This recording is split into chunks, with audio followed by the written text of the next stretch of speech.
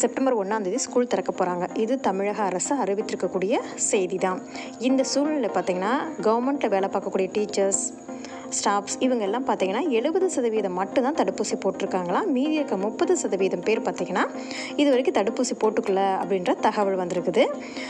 அது மட்டும் இல்லாமல் தனியார் பள்ளியில் வேலை பார்க்குற டீச்சர்ஸில் எத்தனை பேர் ஊசி போட்டிருக்காங்க அப்படின்ற சரியான தகவல் இது வரைக்கும் கிடைக்கலையாம் அதனால் பள்ளி திறக்கிறத தள்ளி போடணும் அப்படின்னு நிறைய பேர் கருத்து தெரிவிச்சிருக்காங்க.